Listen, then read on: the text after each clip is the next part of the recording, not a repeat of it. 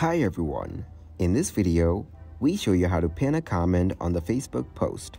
First of all, open up your Facebook application on your phone.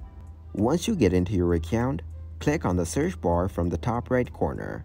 From here, search for any account or page where you want to comment. When you find the post, click on the comment section and type the comment relevant to the post. After posting the comments, click on the menu icon from the bottom right corner. Then, from the menu, click on the settings icon from the top corner. Now from the settings, click on the search bar and search for either public posts or comments. Then, click to go into followers and comments public content. After that, scroll down here and make sure to turn on the show most relevant comments first option. Once you turn it on, you will see the most relevant comments for your post first.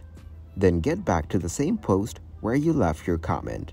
And as you can see, your comment is on the top of the comment section.